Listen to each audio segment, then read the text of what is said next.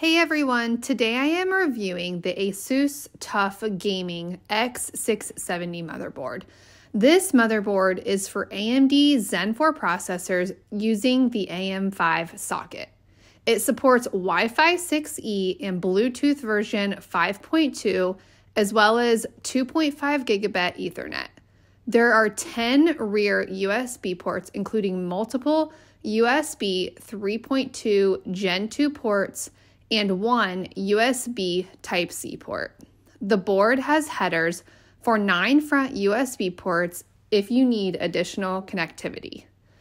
There are three PCIe expansion slots, including one Gen 5 for graphics cards. It has four M2 slots and four SATA ports for storage. While there are four DIMM slots for RAM, I would recommend only using two, as otherwise your RAM will speed will be limited.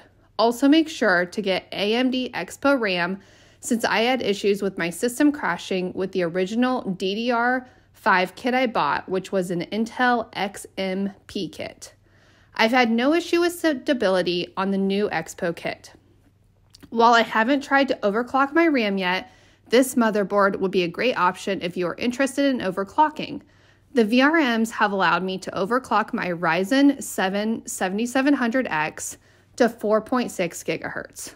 Overall, I have been very happy with this motherboard and would definitely recommend it for any AMD builds.